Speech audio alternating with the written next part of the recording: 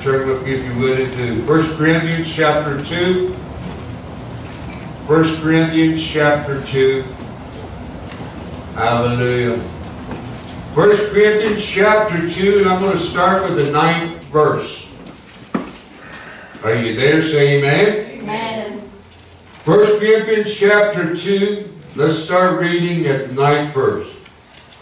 The Apostle Paul writes, But as it is written, not seen, nor ear heard, neither have entered into the heart of man the things which God hath prepared for them that love him. For God hath revealed them unto us by his Spirit. For the Spirit searches all things, yes, the deep things of God. For what man knoweth the things of man, save the spirit of man which is in him? Even so the things of God know no man, but the Spirit of God. But we have received not the Spirit of the world, but the Spirit which is of God, Yes. that we might know the things that are freely given to us of God. Mm. These things also we speak not in the words which man's wisdom teacheth, but which the Holy Spirit teaches, comparing spiritual things with spiritual. But the natural man receiveth not the things of the Spirit of God, for they are foolishness unto him. Neither can he know them, because they are spiritually discerned. But he that is spiritual judges all things, yet he may uh, judges all things, yet he himself is judged of no man. For who hath known the mind of the Lord, that he may instruct him? But we have the mind of God. Heavenly Father, help us again tonight, dear Lord, as we minister your word. And I thank you again tonight, dear Lord, for who you are. Thank you again for what you're doing. I love you, honor you tonight, worship you, magnify you, give you praise tonight. And Lord, we need a deeper understanding of your word tonight. Help us. And we give you praise, we give you glory. In Jesus' name we pray. And everybody said amen, and amen. We cannot, you and I cannot imagine all that God has in store for us in this life and for eternity. The Bible only gives us little bits and pieces. He will create a new heaven, and He's going to create a new earth. And we will live with Him, church, forever and ever. Amen. John said in Revelation 21 and 20, 21 and 1, this, the Revelator John said, And I saw a new heaven Yes. and a new earth. For the first heaven and the first earth was passed away, and there was no more sea. Until then, until then, the Holy Spirit comforts, and the Holy Spirit guides us, knowing the wonderful and eternal future that awaits us, gives us hope tonight, Yes, amen. gives us courage tonight Yes. to press in Yes. and press on in this life, to endure hardship, Yes. to avoid giving into temptation. This world is not all there is. Amen. The best is yet to come. Amen. And I want to take my text tonight out of the Word of God, having the mind of God. Paul says here, but it is written, I have not seen nor ear heard, neither have entered into the heart of man the things which God has prepared for them that what? Love Him. The statement basically employs three means of natural knowledge to us. One, to see, to hear, and to understand. Come on. We got to see it, we got to hear it, and we got to understand it. The purpose is to show that we cannot come to knowledge of God through normal ways of learning. You cannot know God by normal ways of learning. We see Paul was talking about the Lord revealing these wonderful secrets to those who love Him. God's not going to reveal it to everybody. Come on. He's only going to reveal it to those who truly love Him. Come on. Now, I'm not talking about lip service. I'm talking about heartfelt service. That'll worship Him and praise Him. And He will not only do, He loved to uh, reveal His wonderful secrets, but and hiding them from the curious and they're skeptical, irrespective of their educational or intellectual abilities. In other words, church, they can have all the, the college degree if they want. But if they're not, and I don't want to get ahead of myself here, but they, they, God will, will hide them from them. In other words, the key is love. Yes. Amen. Amen? Love. And more particularly that of loving God, which refers to serving Him. And not only serving Him, but giving Him His rightful due regarding worship. Amen? And service. Scientific quest or intellectual pursuit meets a closed door. God's creative abilities and his intellectual honesty is so far above the practical of even the brightest or educated of human beings as to have no comparison. In other words, even if one leaves out the spiritual completely, still there remains no common ground without respecting these other pursuits. Now, I'll explain that here a little bit more. He said in verse 19, he said, God hath revealed them unto us by his Spirit.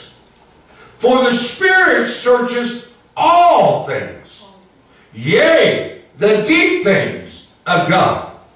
When he said, revealed them unto us by his Spirit, plainly tells us the impartation of spiritual knowledge, which is by revelation. As I said this morning, if we don't uh, go to the cross and believe in the cross and preach the cross, there is no revelation. Amen. You can't have revelation until you understand who He is and what He's done for you. So, in other words, here, the only, what is undiscoverable by human reasoning, God makes known to us by and through the Holy Spirit. The only requirement on the part of the believer is some knowledge of the Word. Even as little as that may be, and faith in God. Come on. When you got faith in God, church, amen, and you got a little bit of knowledge, the Lord will reveal things to us. The Holy Spirit then begins His revelation, which actually never stops and will not stop until the resurrection. Amen? Come on. He said, For the Spirit searches all things. Yes, amen. Yea, the deep things of God. Means that the Holy Spirit is the only one, the only one amply qualified to reveal God to us. Yes. Come on. Amen. Jesus said in John chapter 14 and verse 25, this is what Jesus said. He said, But the Comforter, which is the Holy Ghost, whom the Father will send in my name, he shall teach you all things and bring all things to your remembrance whatsoever I have said unto you. Amen. That's what we need today. We need the Holy Ghost. And the Holy Ghost will bring back everything. The Holy Ghost will teach us the mind of Christ. You and I need that mind today. Jesus. We need to be like Jesus. Jesus, be Jesus in me. Amen? The Holy Spirit who searches the deep things of God uncovered this truth to the vision of these men who wrote the Old Testament and the New as well. They, come on church, I can't that little portion we just sang there, that resurrection power. Yes. Amen. That same power that raised Jesus from the dead is that same power. Amen. Come on. that lives inside of us. Yes. Come on, if he can raise the dead, amen, from, if he can raise man or whoever from the dead, guess what, church? He can take care of a little sickness if we'll just believe and trust in him and let the Holy Spirit be Jesus in us and work in us. We, we, we should, come on, there should not.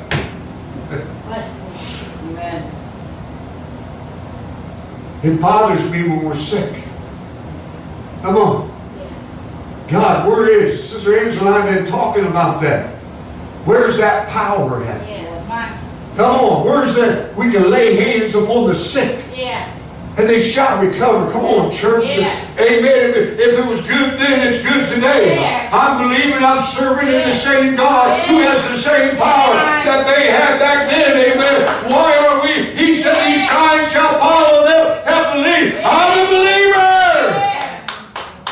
asking God, you know, my wife is too, we're asking God, Lord, give us that power, Yes. give us that anointing, give us that, amen, that we can lay hands upon the sick and they shall. That's not looking for me. I, I don't want to be up a, pe- on the pedestal. I just want to be a vessel Yes. used by God and know that God is still on the throne today. Hallelujah. He said, for what man knoweth the things of a man, save the spirit of man which is in him. Now, what does this mean here? It means that a man does not know what is in the heart of another man, much less what is in the heart of God. Unless, come on, unless the Lord reveals such to man. Come on. I don't know what's in your heart. Come on.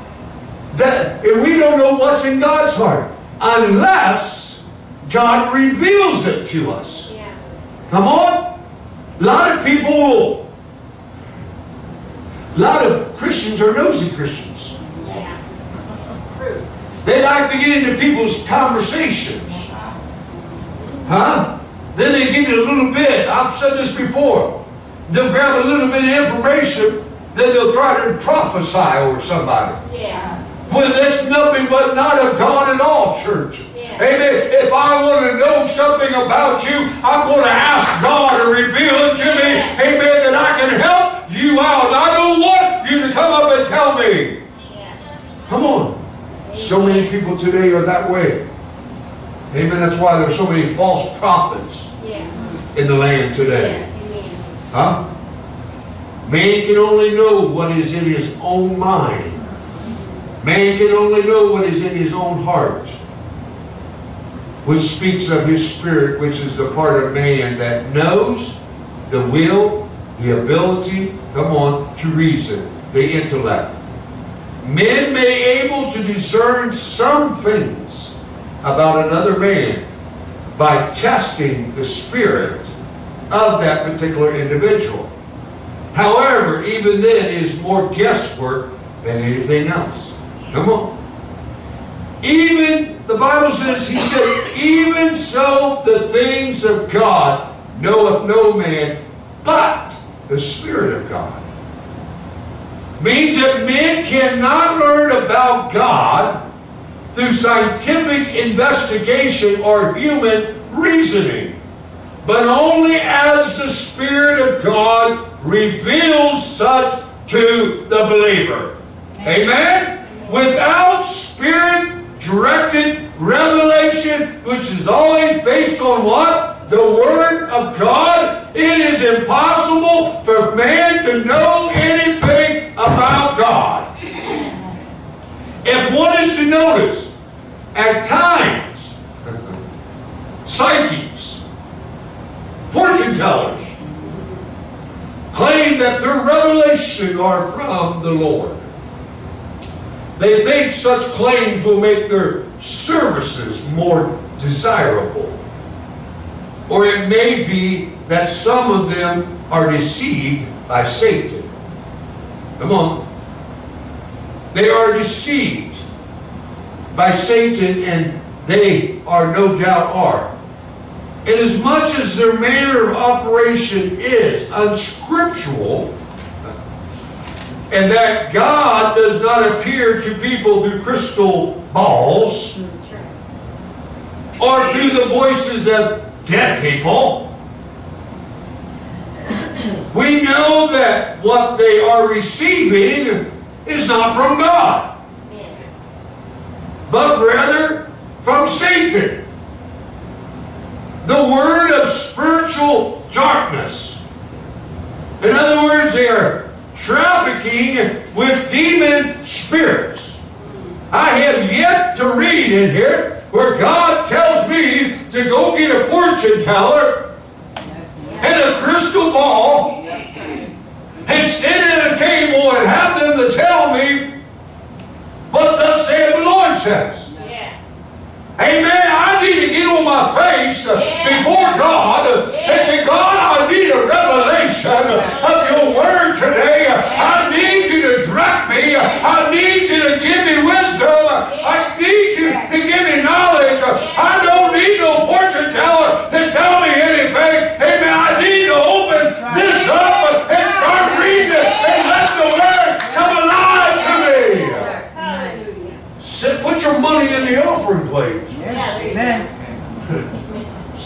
it to a fortune teller. Oh, boy, if I ever catch anybody doing that, I'll gonna come unglued. So if you're gonna hide it, you better do a good job, but I'm gonna be praying God will reveal it to me. Also, we should be aware that Satan also traffics often in the realm of familiar spirits. Uh-huh. These spirits imitate dead people. In many cases, the Virgin Mary. Pope John Paul II claims to have been visited, claims to have been visited by the Virgin Mary many years ago, telling him that he would be Pope. To be sure, it was not the Virgin Mary because such is unscriptural. Amen? Without doubt, it was a familiar spirit, which means the man was and is guided by Satan. Millions are exactly as the woman at Jacob's well.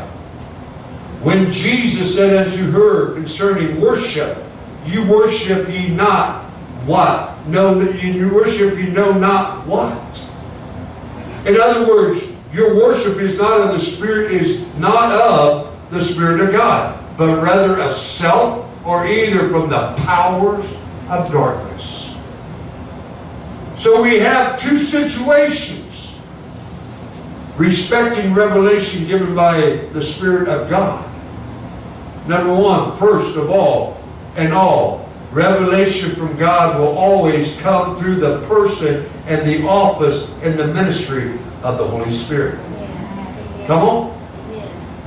Number two, the individual must really know the Word of God in order to know what is being revealed, received, is actually from the Spirit of God or spirits of darkness. This is why John the Beloved said this in 1 John 4 and 1. He said, Believe not every spirit, but try the spirits, whether they are of God. Because many false prophets are gone out into the world. Church, come on, let me help you tonight. There's a lot of people in the church world today that they see something that has Jesus on it. Now, don't raise your hands. There's, there's, there's shows on television right now about Jesus. I don't watch it. Anything that comes out of Hollywood is nothing but a devil. Right. But we'll pay, we see Jesus wrote up on a, on a billboard, or we'll see Jesus on something, oh, we'll just flock to it. No. Come on. You better try the Spirit, make sure it is of God. Huh? Come on. Try the Spirit, he said. Try it. See if it is of God. Yes. Amen? Just because it says Jesus. Amen. We'll flock. We'll pay hundreds of dollars. Come on. Church, you better watch what you're doing. You better know it's God. Amen. We are living in the last days. He said in verse 12, Now we have received not the Spirit of the world. Refers to the powers of Satan, who is the God of this present world. Amen? One of the reasons that intellectual man cannot understand God is because he has the Spirit of God, not, or has the Spirit of the world, and not the Spirit of God. It is literally impossible for anyone with the Spirit to know anything about God or to come any to any correct conclusions about God. In fact, go back to what I've said here in verse 1. But God has prepared it for them that love Him. A little six-year-old girl who truly knows Jesus as her Savior knows more about God than the most educated in the most protestant school of the world who is not born again. Amen. Yes. Come on. You can believe that if you want to or not. But I believe, I don't care if it says professor above his head. Amen. That little girl who just gave her life to Jesus Christ, who is born again, knows more about God than that professor who is not saved. Yes. Amen. That's what God said here. Come on. Let me help you. He said, We have not received, we have received not the Spirit of the world. He said, But the Spirit which is of God. Come on, amen. Amen. Simply means that when the believing sinner came to Christ, he did not receive more of the Spirit of the world, which he already had, but rather he got the Spirit of God. Yes. Amen? Which now makes it possible for him to understand the things of God. Hallelujah. When you got the spirit of the world inside you, you're not going to know the things of God. That's right. Amen. But when you get saved, and you got saved, and that spirit of the God came in you, amen, that you are a candidate now to receive the revelation of the Word of God. Because now you have the Spirit of God in you. Yes. Hallelujah. Amen. You don't have the, you don't get more of the spirit of the world. Amen. That spirit of the world got to go. Darkness has got to flee. Yes. That's right. Huh? Amen.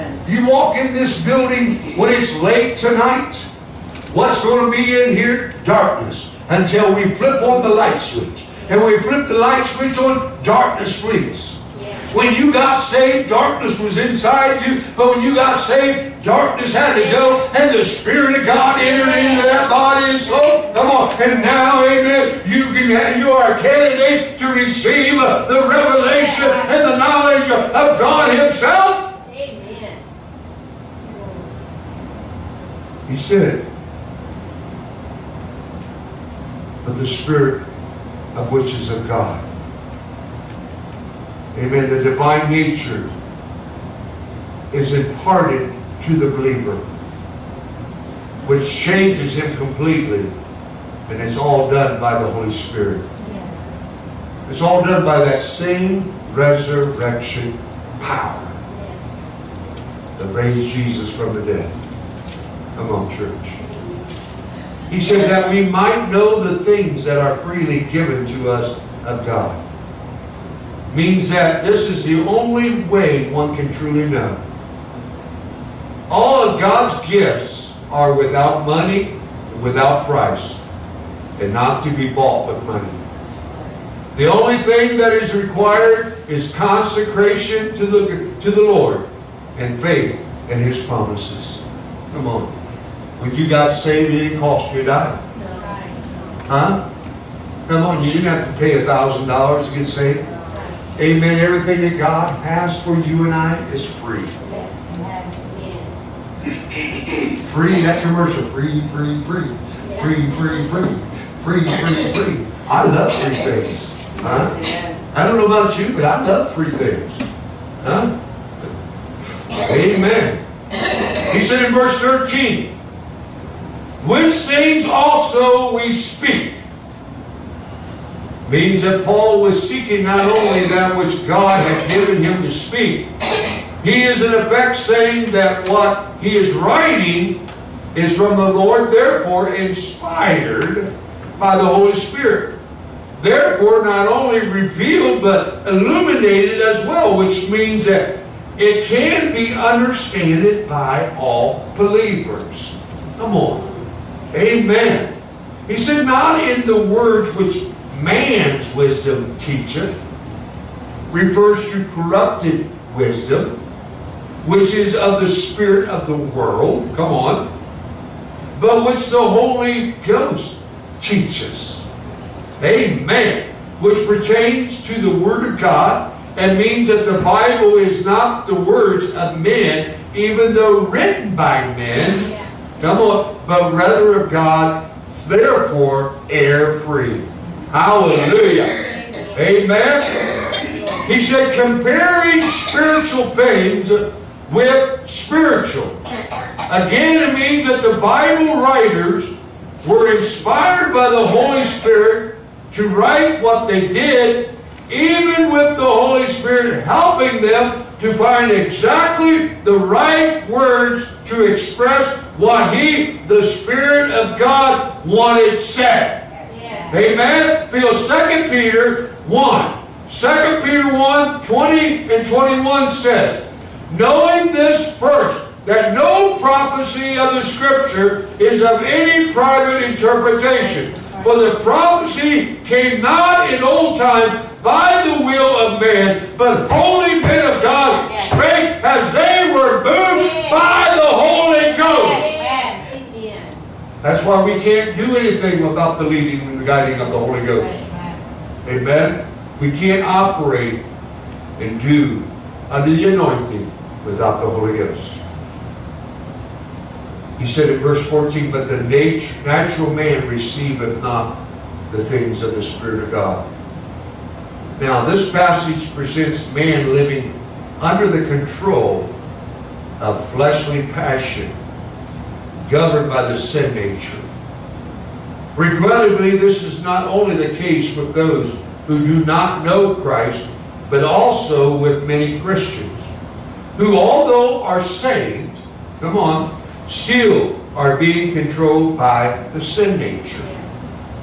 One can only be controlled by the divine nature, which every true believer has, as such a believer places his faith entirely in Christ and the cross, which then gives the Holy Spirit latitude to work in his heart and life, bringing about the desired results. Yes.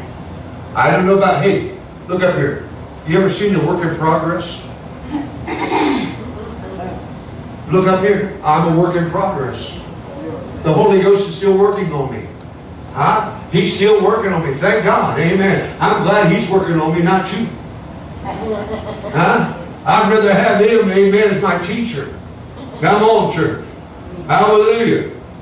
That's the reason that it is impossible for man within his own capabilities to solve the crime problem, the drug problem, the sin problem, or man's app- uh, aberrations in any capacity outside of God. And irrespective of the education, environment, money, law, man is helpless. Yes. Amen. Amen? To be frank.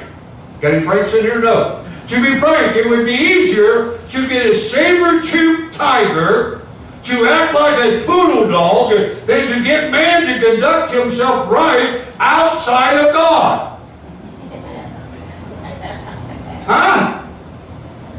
On, did you hear me?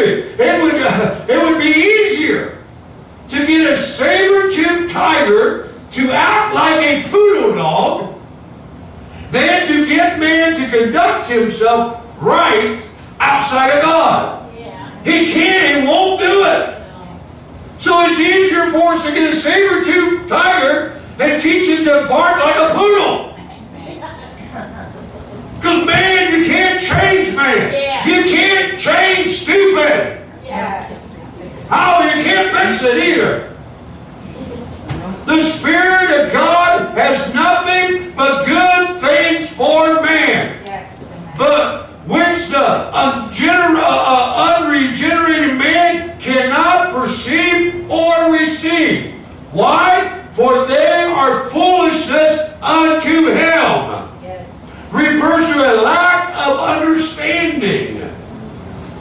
It is this way because the spiritual capacity of unregenerated man is dead. And, excuse me, and therefore the things of the Lord are shut up in him. Come on. He said, neither can he know them. Well, come on, in verse 14. Neither can he know them. It's like a painting to a blind man or music to a deaf person. Huh? A deaf person cannot hear the music. A blind person cannot see the picture, the painting. So, it is also, amen, to them neither can he know them. The, unre- the unregenerated man. Because they are spiritually discerned, as Paul said. Gives us the key to the things of God. This means they are not discerned by scientifically or psychologically or intellectually or religiously, religion being the effort of man and not God. Spiritually means that which is not physically physical, but rather divine. When the believing sinner, you and I, comes to God, he is transformed by the power of God.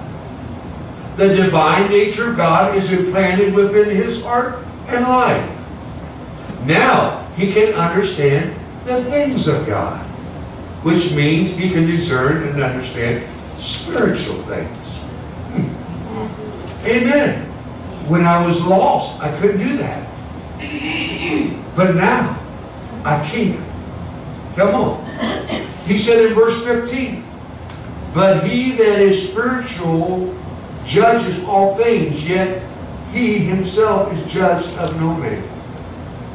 If one is to notice, the scripture says all things. All things. Okay? And not all people. He's not judging people, he's judging all things. In fact, we are forbidden to judge the hearts or motives of other people, which only God is qualified to do. Because the Holy Spirit rules within the truly spiritual person. This individual is able to judge or uh, uh, uh, criticize, scrutinize as God Himself who would judge Amen? It. In other words, this person sees things as God sees them. Huh? That is the ideal as the Holy Spirit through Paul presents this truth. Actually, the equipment of the spiritual person to investigate all things rests in the fact that he has the mind of Christ. Come on. And that's where we got to get to. We got to get to that point where we have the mind. Quit trying to guesswork God. To quit trying to guesswork what people are going through. Come on. When we get the mind of God, church, amen. He said, yet he himself is judged of no man.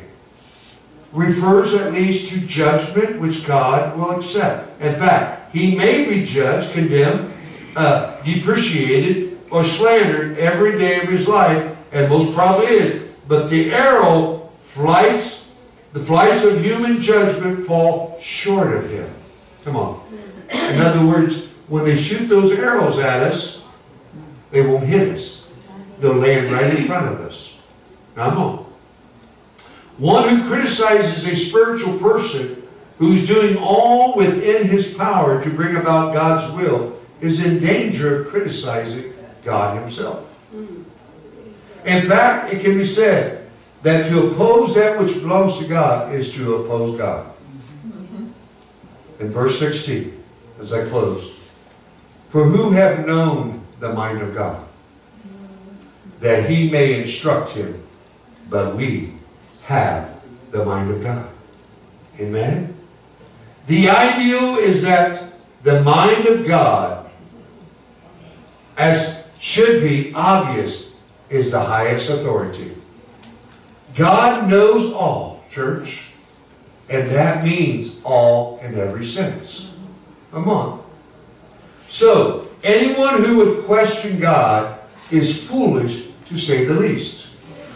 Having the mind of God, as Paul uses the phrase here, means to think like Christ, rather than the way it is used in Philippians 2 and 5, which says, let, let this mind be in you, which was also in Christ Jesus, which has to do with attitude. People who opposes the mind of Christ judge every situation as God would judge it, and they see things as God sees them, which is the intention of the Holy Spirit in the heart and the life of the believer.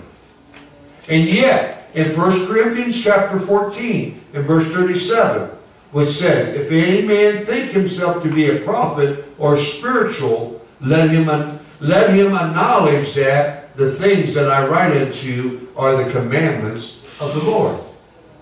Speaks of spiritual, uh, the, the spiritual person as one who is able to receive acquisition. One of the marks of the true spirituality is the recognition that one does not know it all. We got a, there's a lot of there's a lot of know-it-alls out there. Yes.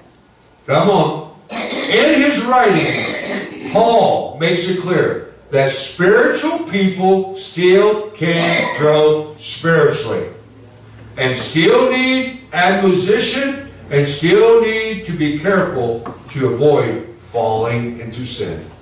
Huh? Amen. God wants you and I, church, to have the mind of Christ. And the only way we can do it is that the Spirit searches all things, yea, the deep things of God, and He reveals them to us. Amen? God wants you to think like Him. We, we'd be less trouble. We thought like God, spoke like God, acted like God. Huh? Instead of acting like children. Come on. Too many Christians today are acting like children instead of acting like God. And God wants us to have His mind. He wants us to act like Him. That's why I felt led there to sing that song, Jesus, be Jesus in me. I can't do this, church. You can't do this. Amen? But God can. Yes. God can help you and I if we'll ask Him. Come on, come on. Yes. You have not because you ask not. Amen. And you ask, you will receive this. You'll receive, those who ask shall receive. Come on. Amen. I want those things of God. I want to know what God is saying. Yes. Amen. And God wants to wants you to be like Him. Amen. Not, not that we're little gods. No, but we have the, the mind of Christ. That we know by revelation, God is teaching us, showing us, amen, what we are to do. Amen. So, having the mind of Christ. I hope you got something out of this. I hope you learned something out of this. What Paul was trying to bring. Amen. Because it is written, I have not seen nor have ear heard, neither have it entered into the heart of the things that God has prepared for them that love Him.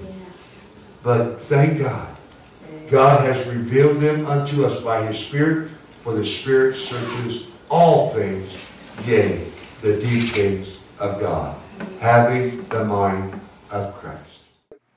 I pray that you truly enjoyed that message. And I would like to give you an opportunity if you're strayed away from the Lord or feel that you would like to give your life to the Lord Jesus Christ. I just ask that you would repeat this simple little prayer with me today. And all you got to do is believe in your heart that the Lord Jesus Christ is our Savior. And you can be born again today. So if you would, just repeat this little prayer with me. Dear God in heaven, I come to you today as a lost sinner. You, dear God, said, For whosoever shall call upon the name of the Lord shall be saved. I am asking you, dear God, to save my soul and to cleanse me from all sin. I am accepting Jesus Christ into my heart and what Jesus did on the cross of Calvary in order to purchase my redemption. I confess with my mouth the Lord Jesus Christ and believe in my heart that you, God, raised Jesus from the dead. I have called upon your name as you have said, and I believe that right now I am saved. If you repeated that with me and believe in your heart, you are saved today.